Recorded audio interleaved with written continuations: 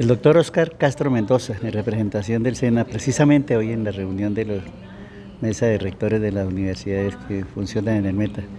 Nos encontramos por acá y no quisimos desaprovechar porque el SENA es la Universidad de los Pobres. Bienvenido al Conuco, señor. Muchas gracias por la invitación, por estos minutos de compartir este espacio tan importante. El SENA ya tiene un tiempo, eh, casi desde los orígenes de la mesa de rectores en el departamento del Meta. Si bien el SENA no es una institución de educación superior, eh, sí hacemos parte de la educación eh, terciaria, universitaria y no universitaria del país. Eh, y nos da un espacio muy importante de contribución y de construcción interinstitucional con todas las instituciones con presencia en el departamento del Meta. Este espacio es los que todos buscamos estar aquí para poder contribuir en lo que es el desarrollo del capital humano del departamento. SENA tiene dos centros de formación en el departamento, haciendo desarrollos tanto para el sector agropecuario como para el sector de la industria y los servicios de la ciudad de Villavicencio del departamento del Meta. Y tenemos una amplitud de servicios que finalmente quieren contribuir a dos temas fundamentales. La empleabilidad de los egresados de la entidad y es la contribución a que aumente la probabilidad del enganche de nuestros egresados en el mercado de trabajo. Y el aporte que le hacemos a la productividad y al desarrollo competitivo del departamento del Meta. Básicamente en esos dos frentes de trabajo se concentra eh, el quehacer institucional de la entidad. Tenemos un desarrollo con todos los actores y tenemos presencia en todos los, eh, los municipios del departamento.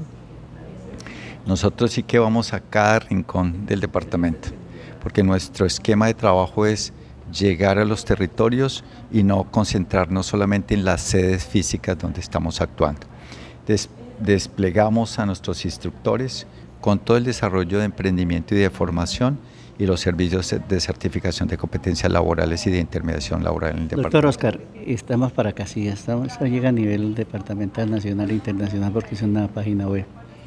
¿Qué programas hay en este preciso momento en la Casillas para que la gente, mis paisanos, mi gente que nos está viendo, conozca que el SENA tiene, qué programas tienen en el El SENA hace una contribución, digamos, desde la formación profesional del nivel tecnológico y técnico en el departamento y en Acacías.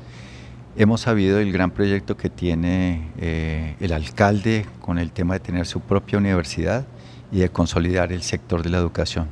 El SENA va a ser un actor fundamental en todo ese proceso porque nosotros tenemos aquí el programa de articulación con la educación media.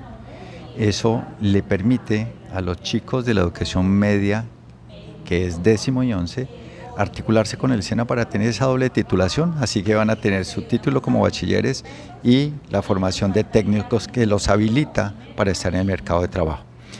Ese es uno de los desarrollos que junto con el ¿Eso está funcionando o va a funcionar? No, eso funciona actualmente en todo el territorio y se tiene también aquí en Acacías. Lo mismo la formación tecnológica. Si bien no tenemos una sede para Casillas como no la tenemos para muchos municipios, actuamos con los registros calificados que tenemos en Villavicencio en los dos centros, en el agroindustrial del Meta y en Villavicencio en el Centro de Industria y Servicios. Todo ese despliegue lo tenemos también para Casillas, así que la formación tecnológica es un servicio para ustedes también. Tenemos la certificación de competencias laborales, que a mí me gusta contar ese programa porque es muy interesante. Todos aquellos que no pudieron ir a la educación, eh, el SENA les reconoce sus competencias, lo que aprendieron con sus tíos, los abuelos que enseñaron cosas importantes. Empíricos. Los, los empíricos. Tienen la opción de que el SENA reconozca esa experiencia y los certifique. Eso ha sido un programa que venimos desarrollando en todo el territorio y del cual pueden aprovechar todos los, la, población de Acacías que quieran someterse a un, rigor también técnico de que hay un estándar y si cumplimos ese estándar van a ser certificados. Eso les da una opción para que sean reconocidos por el mercado de trabajo.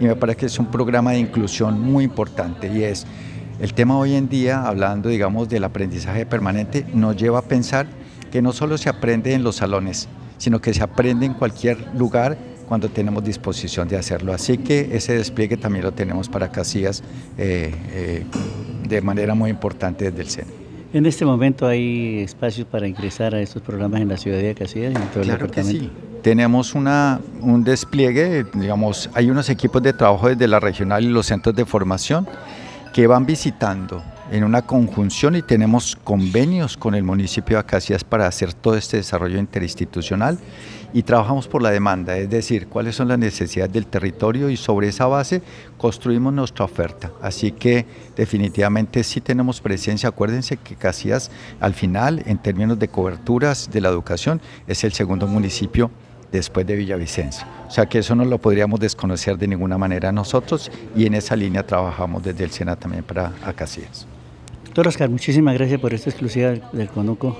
Ustedes hoy en Acacias para que ustedes estén informados de que si hay espacio del SENA, está la ESAP, está la cooperativa, está la UNAD, la UNILLANOS. Oportunidades, como lo he venido recalcando, son las que hay. Solamente falta que ustedes tomen la determinación. Muchísimas gracias, A ustedes muchas gracias. Un saludo para todos en Acacias.